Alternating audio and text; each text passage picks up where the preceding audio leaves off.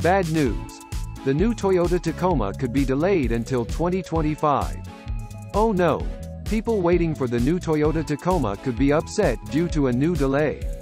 It has taken years for the next generation Tacoma to take shape, and now things could be pushed back by months. We might get the 2025 Toyota Tacoma instead of a new 2024 model. When will the Toyota Tacoma be redesigned? Unfortunately, plans for the next generation Tacoma haven't been clear, but the industry seemed to be tracking updates for the 2024 model.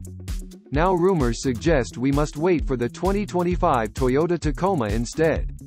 According to Gear Patrol, the new Tacoma keeps facing significant delays. The current model was expected to end production in August 2023, so the new model could enter production by December 2023. Then deliveries could start arriving by February 2024.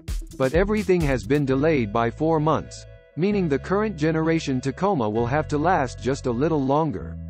As a result, the new model could enter production in 2024 for 2025. We also haven't heard anything about an official reveal for the new Toyota Tacoma or Toyota 4Runner. Rumors suggest that the Tacoma will arrive first. Why is the 2025 Tacoma facing delays? We might have a new 2025 Toyota Tacoma due to supply chain constraints. The coronavirus, COVID-19, outbreak led to factory closures and spurred a massive semiconductor chip shortage. Other materials such as rubber for tires, foam for seats, materials for hardtop roofs, and even Ford's blue oval badge are in short supply. Toyota's TNGA-F platform got wrapped up in the shortages and created a few different problems. Each Toyota vehicle redesign was pushed back by a year. Also, the new Tacoma was frozen for production after receiving a finalized style and design.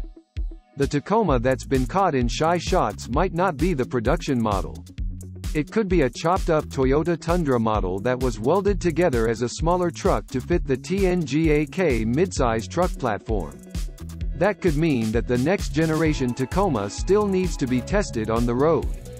On a positive note, the final production design could be a done deal. Only minor trim work and the unique style of each model need the green light.